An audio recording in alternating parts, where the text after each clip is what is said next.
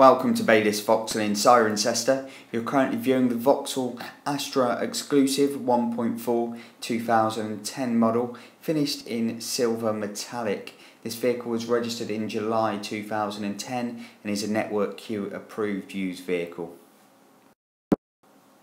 As we now show you around the car, it does come with daytime running lights and is in lovely condition. As we show you around the inside now, we do have the black cloth upholstery driver's and passenger's airbag, a digital radio display, a radio CD player, air conditioning, an auxiliary point for an MP3 player and a 12 volt socket.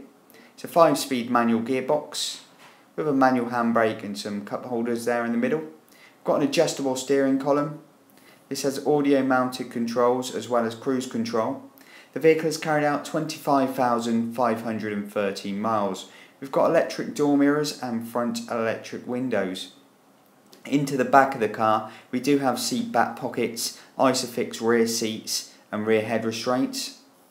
The seats do fold down at the back with a 60-40 split and does have a Vauxhall tyre inflation kit. So to test drive this vehicle, give our sales team a call today or click the inquire now. Box finance options are below and service plans are also available. Thank you for viewing.